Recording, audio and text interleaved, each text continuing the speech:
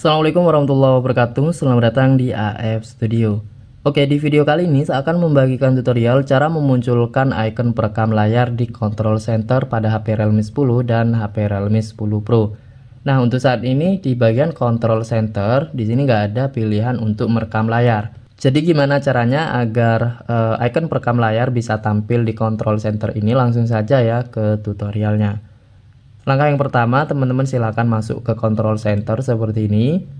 Kemudian untuk menambahkan ataupun mengatur icon-icon yang ada di control center, ketuk icon edit di bagian samping pengaturan.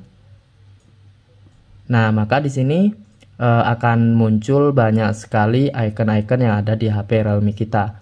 Di bagian atas, yang ini adalah icon yang muncul di bagian control center tadi. Sedangkan kalau misalnya teman-teman mau menambahkan icon perekam layar, kita tinggal geser saja di bagian bawah sini lalu temukan yang namanya perekam layar. Nah, jadi di sini ada icon perekam layar bentuknya kayak gini. Untuk menambahkan ke atas, ketuk icon plus atau ketuk saja seperti ini. Maka secara otomatis untuk perekam layarnya dia akan ditambahkan ke bagian control center atau pusat kontrol.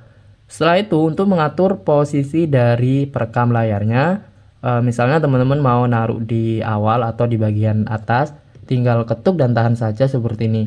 Lalu kita bisa geser dan teman-teman bisa taruh e, posisinya sesuai dengan yang diinginkan. Misalnya di sini.